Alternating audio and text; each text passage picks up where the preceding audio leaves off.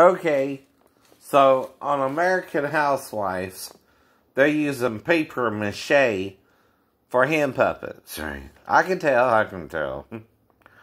See, that's what we know when you're fake, though. we know when people can't do something when they're faking it. what we were born yesterday. that's why you make some people mad they don't want to buy your shit. That's what I mean.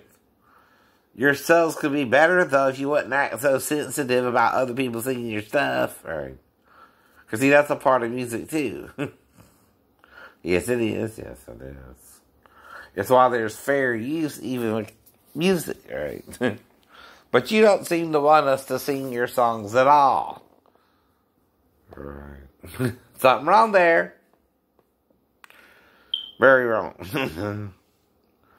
So music isn't teachable even if you edit it together into one final piece. No. Though Beethoven didn't do that, did he? no, he didn't. Right. But you get to, huh? And then no one can play it but you or sing it but you, right? I know a scam when I hear one. no, you do. I know bullshit when I hear one too. I know you do.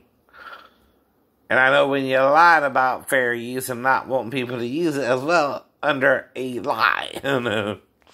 FBI.